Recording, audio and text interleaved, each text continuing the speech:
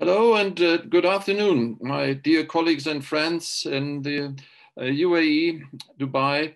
I'm talking to you today from uh, our hospital, which is in the southeastern part of Germany in the Alps. And as you can see on this picture, snow has melted. We're waiting spring and hopefully that the virus will leave all of us, that we might have a chance to visit each other soon in this year. I was given the honor to present on multiple sclerosis pathophysiology update of 2021, which is rather new here, but interesting things are coming, which does definitely have an impact on how we view the disease process itself and how we best could interfere with that for the benefit of our patients. This is just my disclosures. I would like to start with a slide which probably some of you know in one or the other thing. And the most important aspects we're currently looking at is probably that we view multiple sclerosis pathophysiology as a continuum, but a continuum over decades of life. So it's very difficult to shrink all of this within you know, a short period, which we currently very often use in animal models. But definitely with advanced technology, we have seen that what is listed here really also happened in our patients. Initially, in the part of the relapsing form of multiple sclerosis, inflammation heralds the process, which clinically can result in conduction block, which we can measure with evoked potentials, demyelination, or axonal injury. But the most important thing, which clearly shows up as the clinical picture, are repeated attacks driven by a systemic immune system more adaptive than innate immunity. And I will come to this difference later when I go in the various parts in detail.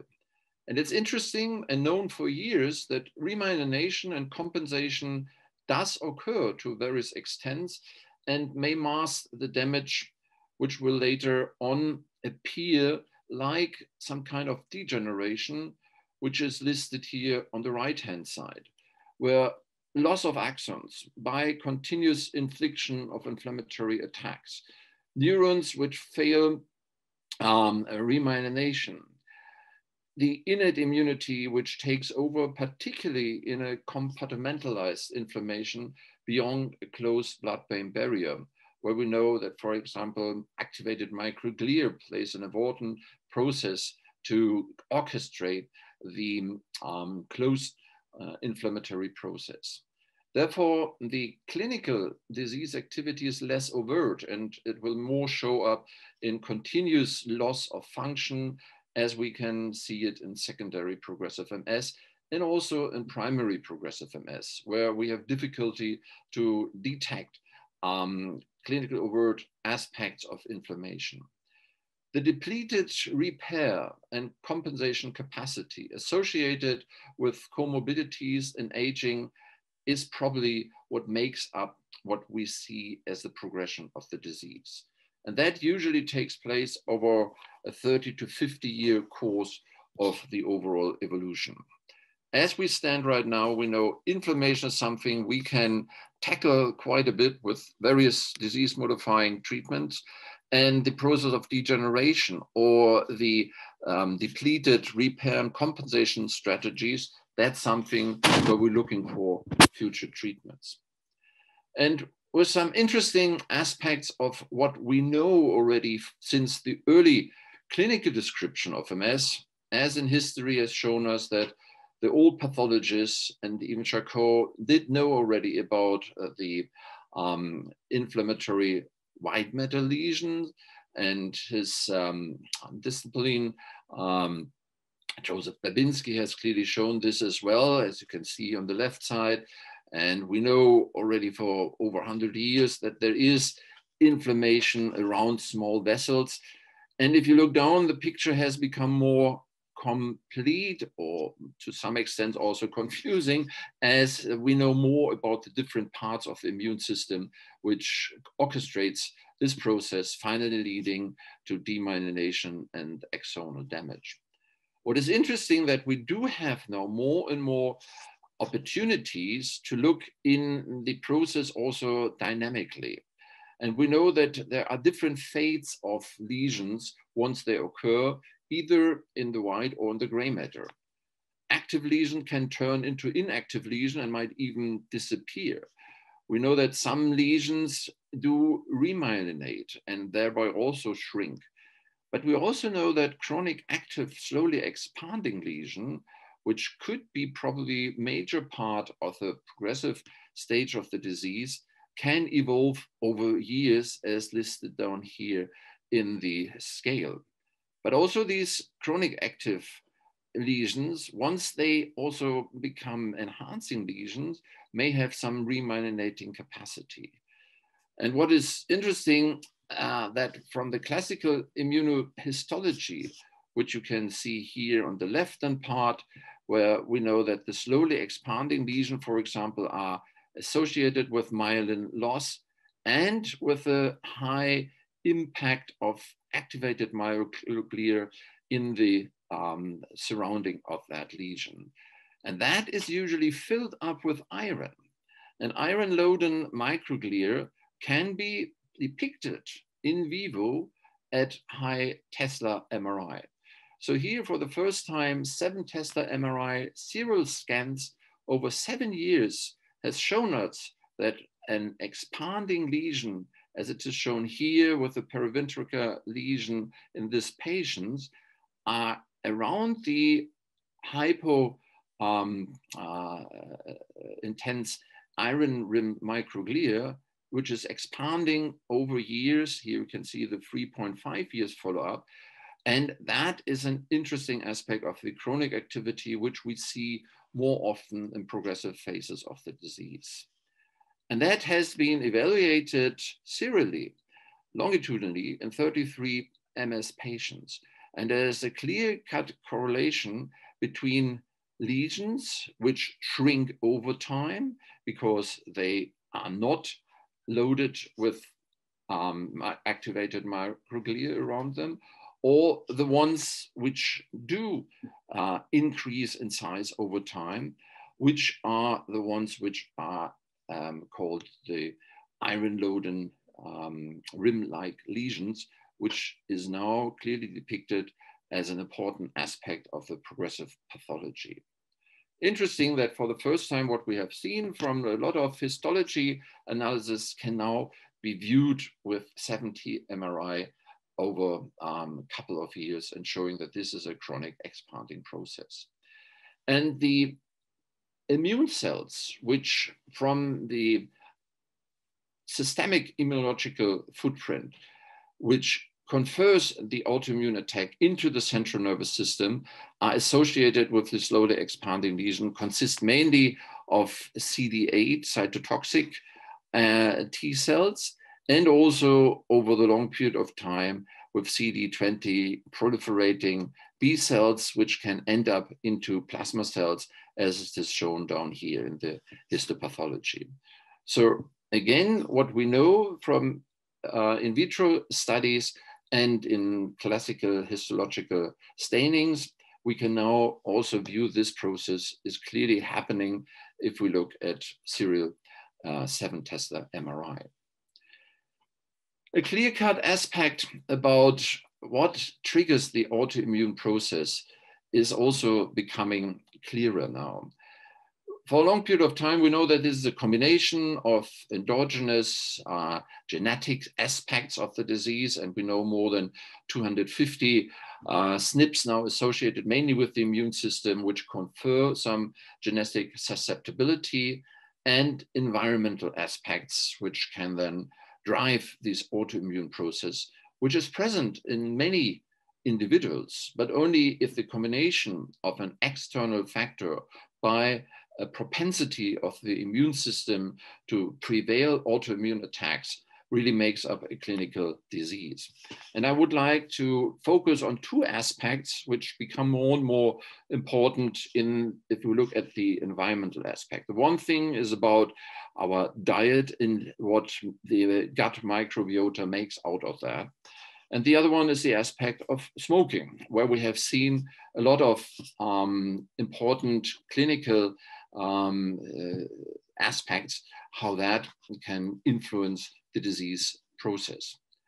We know, for example, that just the odds ratio of smokers to become MS is about 1.6. But as there is an interaction for some of this uh, environmental factor with the genetic predisposition, we can see that the highest uh, impact of a combined um, odds ratio of non-genetic factor and the HLA allele is in smoking, which comes up then all of a sudden to an odds ratio of 14, or with EBV seropositivity. And in addition to that, also quite interesting adolescent obesity uh, within BMI over 27 at the age of 20 is also highly associated with that. So two external factors combined with an internal genetic predisposition can really trigger the autoimmune process to quite an important aspect. And we also know that there is evidence for that from clinical studies. For example, how can smoking cause multiple sclerosis? Uh, Tomas Olsson, a very nice review in 2070, has already alluded to that. We know that smoking itself does cause a pro-inflammatory constitution of the lung uh, tissue, but it also interferes with the um, antigen presenting cells in the blood as it transfers into the blood the contents of the uh, various components of smoke can induce a bystander activation of an already autoimmune triggered immune cell. And by that, you can see that it does have a direct influence on the propensity of autoimmune cells turning into autoaggressive cells, and by that being able to transmigrate through the blood-brain barrier into the CNS and cause a new lesion. The other aspect, which is quite amenable also for therapeutic approaches, is what's going on in our gut. We know for more than 10 years now that there is quite an ecological niche or homeostasis, which we should try to maintain of various bacteria in the different parts of our intestines, which does have a major impact on the gut associated immune system. And it also has a major impact on um, the uh, evidence of uh, factors going across uh, this continuous barrier with the outside world, and thereby also shaping the immune system. And even though we don't know whether are single uh, microbiota responsible for that, but it has clearly been shown that, for example, here on the left-hand side, um, by the group around uh, Hartmut Wekerle, in a very interesting, and uh, Reinhard Hohlfeld, um, genetic study that the uh, uh, monozygotic twins, which differ by their appearance of multiple sclerosis, also differ in the propensity of the gut microbiota to induce disease in susceptible animals. So there is something in this composition which makes up our um, immune system in a way that it either silence autoimmune events or can induce autoaggressive autoimmunity, which is so much associated with the inflammatory attacks in multiple sclerosis. And the interesting aspect about that, which has come up with new approaches to therapy, is that modification in our diet does have a major impact on our microbiome something which we know also from other autoimmune diseases, for example, type 1 diabetes, but also for the, um, the modification of the immune reaction in multiple sclerosis, has become an important and interesting target. For example, the indigestible carbohydrates, which can be chopped up by the commensal gut bacteria in very smaller pieces, and also the short chain fatty acids out of that does have, for example, an important impact on the tolerogenic um, dendritic cells in terms of inducing regulatory T cells.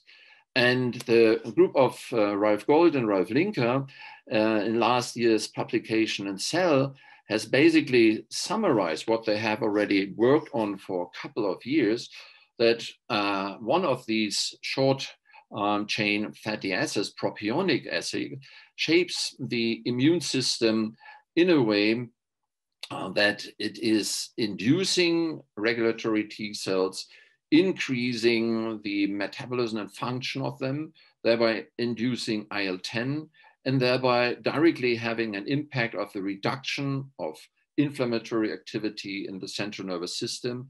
And as they has elegantly shown in a small clinical trial, even increasing the subcortical gray matter and thereby also reducing disease progression. So this is just a breakdown of what our microbiome does with indigestible carbohydrates, but it clearly shows us that through components which are produced in our uh, intestine, we can shape the immune system in MS patients in a beneficial way. And a larger scale clinical trial is now on its way, and we are awaiting these results, combining what we have known about the gut microbiota and the potential using this knowledge for treating multiple sclerosis as you might anticipate is also a small uh, lipophilic agent which is able to penetrate the blood-brain barrier and thereby also having directly effects there. If we now look beyond the reduction of inflammation, because we have achieved quite a bit with various modern types of therapy we can induce and state where there is no evidence of disease activity anymore, detected clinical or MRI evaluation. And thereby we come to a silencing of this autoaggressive attack in the central nervous system. And even to some stage has already been shown that neuroprotective autoimmunity can be induced. And we can now view the potential of interfering with the central nervous processes, which are impaired by inflammation in a beneficial way if that is reduced. And one interesting, very thoroughly examined example is that the inflammatory attack inside the central nervous system has a direct effect on synaptic plasticity by interfering, for example, with the um, uh, composition of various um, uh, neurotransmitter uh, receptors. And by reducing this activated microglia, we can also reinstall a more physiological synaptic interaction and thereby improving the synaptic and also neuroplasticity in general in the central nervous system. Another important aspect, what we have learned over the last few years, is the new view on remyelination in MS brains. We know more about the factors which impair a successful remyelination. We know that even resident oligodendrocytes are, can be induced to remyelinate. And we know that oligodendrocyte precursor cells, which do occur in um, uh, uh, certain remyelinating lesions can be induced to, uh, on the one hand, proliferate, uh, migrate, and differentiate into actively remyelinating agents if we focus particularly on astrocyte and microglial factors, which are um, and two different aspects interfering with this process. On the one hand, we know that it's important to clear the debris to make the axon free for the remyelinating attempt. And then we have to focus on the factors which can be released and driven a regenerating process in the central nervous system um, if the microglia is activated in the proper way. And if the recruitment and differentiation of oligodendrocyte precursor cells does occur, then generation of new myelin can um, be fostered if in addition to that, modulation of the extracellular matrix and inhibitory factors can be cleared. And the knowledge about that has accumulated not only from experimental models and histopathology study, but to more extent now also with an approach of remyelination as an achievable target for our next generation approach to therapy. The uh, late um, uh, 2020 Lancet Neurology article from um, Catherine Lubetzki's group has nicely summarized how we have gone from the detection of pre-myelinating oligodendrocytes in chronic demyelinating MS lesions in the um, uh, New England Journal paper of 2002 to now a very nice approach of looking at various known um, pharmacologic compounds for the probability to induce either the um, uh, transformation and proliferation of oligodendrocyte precursor cells and the differentiation and wrapping around um, uh, axons in a large scale approach. It was seen that certain factors which are being used for different indications, and some of them even multiple sclerosis, for example, like the bladder control oxybutynin drug, that they clearly can induce remyelination in these assays. And the next step, of course, was to bring this into clinical trials. Different aspects along the monoclonal antibodies against endogenous retrovirus, or what we have seen with anti-LINGO, for example, were attempts to uh, induce remyelination in uh, vivo in patients who were given this medication. But it clearly also showed up that in this trial, we are still looking for the important outcome parameter. Of course, these trials need to be uh, looked upon uh, reproducible results which come close to um, the aspects of remyelination vivo. And here, for example, evoke potentials if you remember the effect, for example, of, of opicinumab on the visual evoked potentials has been shown, but the clinical outcome parameter, which was more focused on what we know from inflammatory aspects of the disease, didn't come out uh, with a positive result. Interesting, some very small compound, which you can see here on this um, in vitro staining, uh, in vitro assay, was highly in the range of differentiation and wrapping, as well as proliferation. Um, clemastine, which is an old antihistaminic uh, drug, actually could induce the reduction in the VEP latency. And that was just shown in a small trial already published in 2017. And currently two further trials are on its way on a larger scale, because in this crossover trial where one group of patients received um, um, the medication in the initial part of the study and had a clear reduction in the VP latency by a couple of milliseconds and the, then switched to placebo where it stayed there. And the uh, other group received it later and also could show an effect. And again, it's a small compound listed up here, highly lipophilic, thereby able to enter the central nervous system. And um, just as a small example, we all know that we can focus on our ability to look at the um, visual system, the color vision, which is uh, clearly an indication to be affected by chronic optic neuritis. And every one of you have difficulty to see the number two on uh, this uh, initial Ishihara played probably could see the attendance of a neurologist. But we have gone a little further and trying to use something which has already been established in um, the field of glaucoma research, a visual uh, stimulation, high frequency color stimulation which we could see in a small study by just using the device of a um, cell phone on which this could be held in front of the eye and thereby inducing um, the stimulation in a way that is shown here in the small video. So everyone who has epilepsy or uh, color triggered migraine, please stop watching. The other ones can see. This is uh, the device we have developed and used in a couple of patients with chronic optic neuritis. Um, and if this is applied twice a day, you can see the results here. This is just a comparison between the color um, contrast sensitivity in normals in a MS patient is slightly uh, increased. Um, that means that they need higher threshold. And you can see before and after the stimulation, there are short-term effects. But interestingly, in this pilot study of 16 MS patients, we even see long-term effects for longer periods of time that's maintained with just two uh, twice daily application of this small uh, color vision stimulation. So another approach to uh, induce impulse propagation and uh, they were probably also inducing the aspects of remyelination.